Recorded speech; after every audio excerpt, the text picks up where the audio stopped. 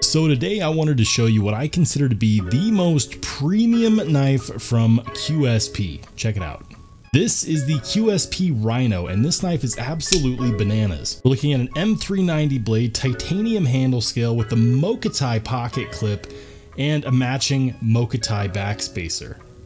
The jimping on the spine of the blade is not your regular jimping, it's in the spiral motion. It's got this beautiful full length fuller, so it's excellent for flipping and flicking.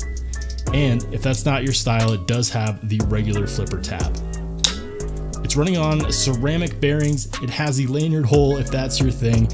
And the pocket clip goes in and out of the pocket really nicely with that ball bearing style pocket clip.